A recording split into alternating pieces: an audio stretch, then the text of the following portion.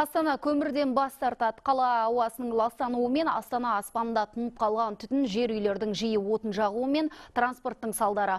Бұл туралы елорда жұртына есеп берген қала әкімі Әділбек Жақсыбеков мәлімдеді.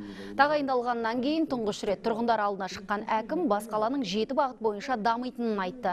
Әуелі әлеумет үшін 2015 жылы қолжетімді баспана бағдарламасы бойынша мың жарымға жуық баспана берілмек. Айта кететіні енді паркингі жоқ пәтерлерді басшылық қабылдамайтын болады. Энергетикалық кешенді жаңарту да күн тәртібінде.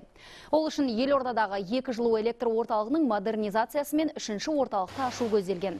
Қала тұрғындарының көбі қоғамдық көліктің жетіспеушілігіне арызданады деген әкім транспорт моделін түгел жаңартатынын жеткізді.